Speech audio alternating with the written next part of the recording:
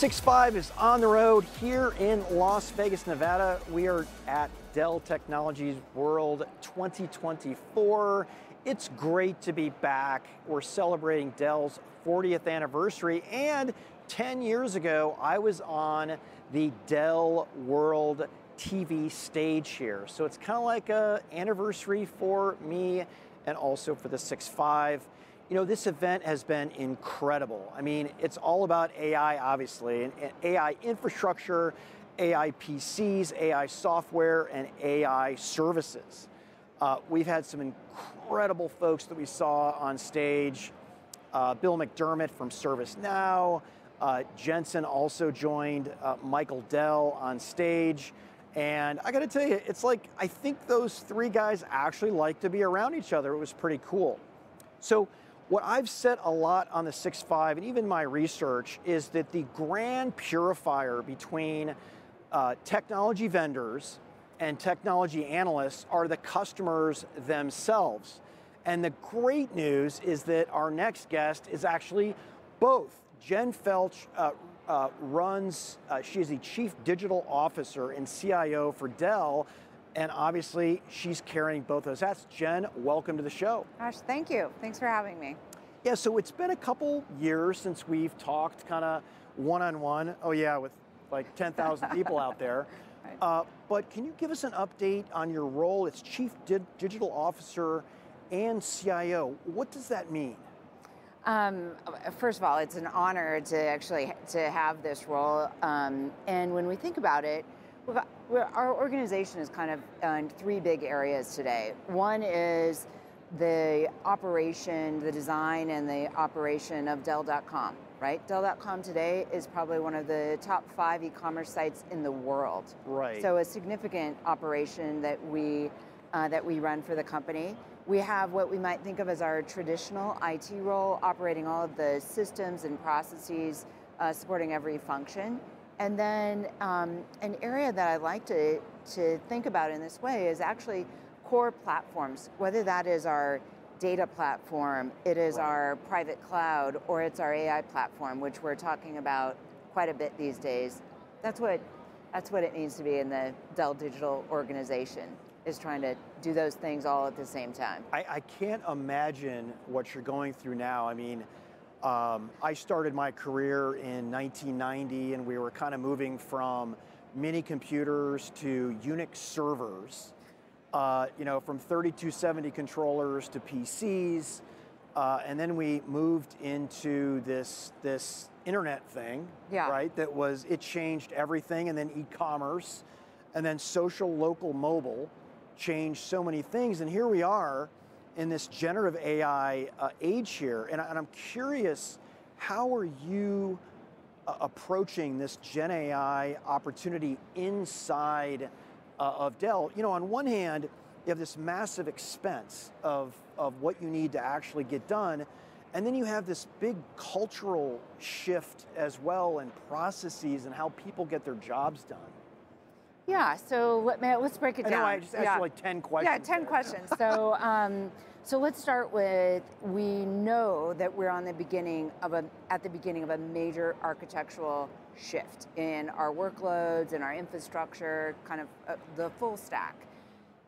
We just don't know, we just don't know exactly where it's headed. So what we've been doing is saying, let's really focus on architectural components, have clear boundaries, leverage open source where we can and modularize the elements of it. We right. call that our, our AI platform, our AI acceleration platform.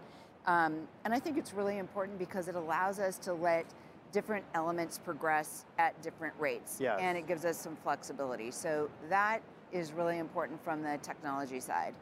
Then we have the, uh, everybody in the world wants to adopt AI and it's so easy, it's accessible to people that may not have thought of themselves as technologists before, like they're now all about Gen AI, yes. right? They've tried it at home, they want to right. do it at work.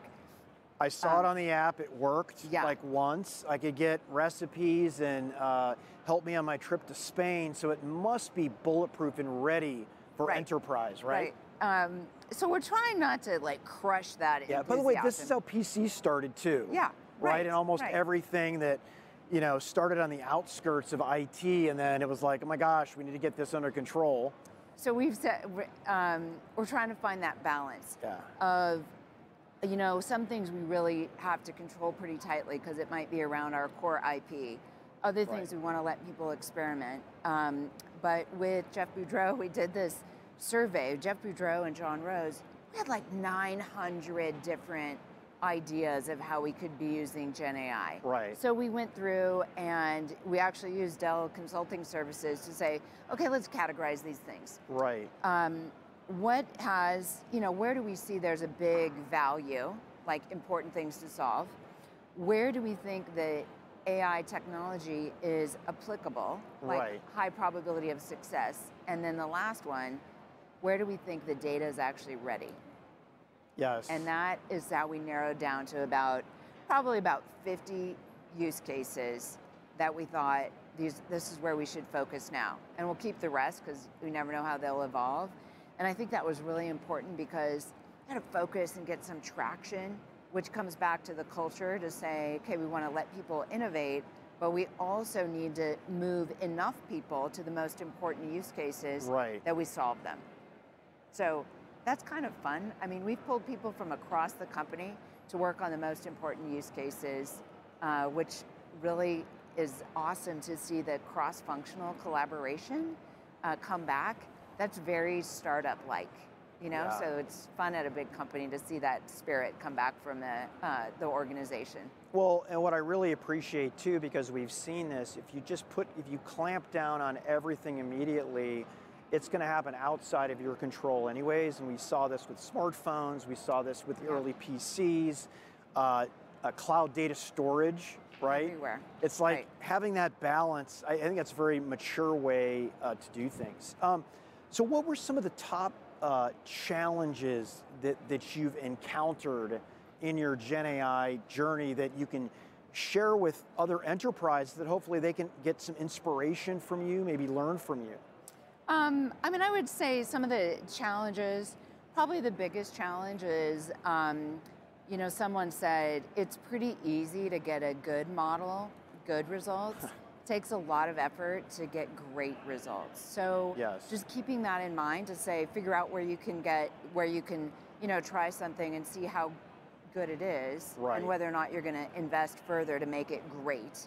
Um, but it all comes back to really looking at your data. Is your data set up so that, you know, uh, uh, is your data set up so that it is actually going to train the model that you want to use? And when you look at your data, it comes back to the same things that IT people have been talking about before, which is your process generates data, your process should be clean to generate good data, Right. and that good data will enable you to create to create those great models uh, for AI. So that's a big lesson learned. Where we have nice, clean, structured data, Yes. this is fantastic.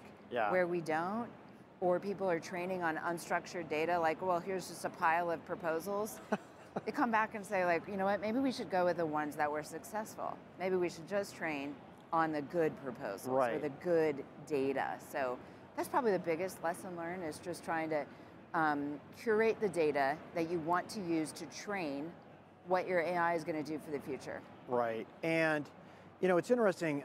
Early on, I mean, we learned in the 80s, even my 80s classes, garbage in, garbage out. Yeah, right. And same. it seems to be amplified with, with generative AI. And correct me if I'm wrong, it, it's, it's one thing that if you're trying to get an answer, let's say, out of your ERP system, it's one thing.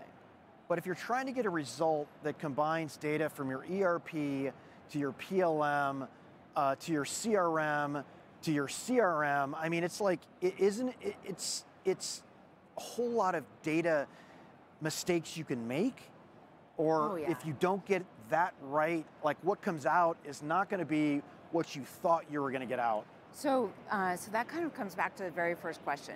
These are the two things that come together: your um, your data, and we're talking more about horizontal data than vertical data. Yes. That's where the real value is: is this horizontal solutions or applying AI to horizontal solutions. Right. And then, who are the experts in your company that can assess that the horizontal, the solution is correct. Like, does that seem like the right solution or not? Right. And then you're going back and assessing your model, you're assessing your data. So, um, so it's a kind of an interesting mix of, of the technology and your, your process and data, and then the expertise that you have to really validate the models. Yes.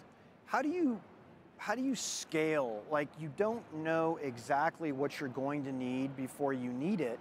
And if you change something in the mix, like change a model that you use, make it bigger, make it smaller, realize you have to use three models.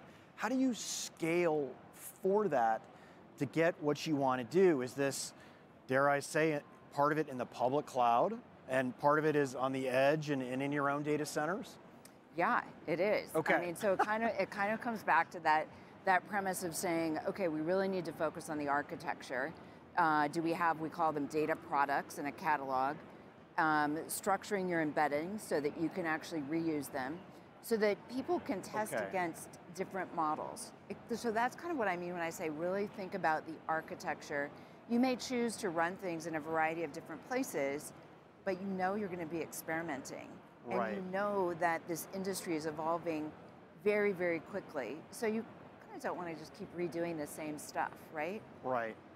So, with everybody learning, and it seems like things change every 90 days, at least from my point of view, uh, you're building the train as you're, you're running on it, but how do you train people? How do you skill people uh, to operate uh, in, in, in this environment?